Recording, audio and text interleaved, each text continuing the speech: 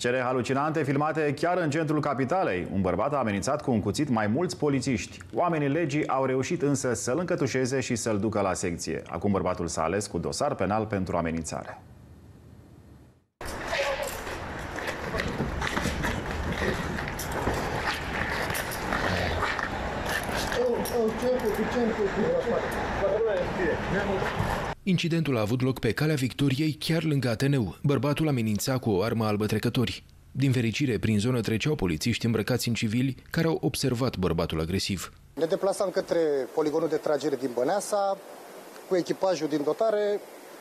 Uh, în timp ce circulam, uh, mai multe persoane în trafic, niște persoane civile, ne-au făcut semn să oprim mașina și ne-au sesizat faptul că un cetățean cu o armă albă, respectiv cu un cuțit în mână, amenință oamenii pe stradă. Imediat aceștia au acționat și l-au imobilizat pe individ.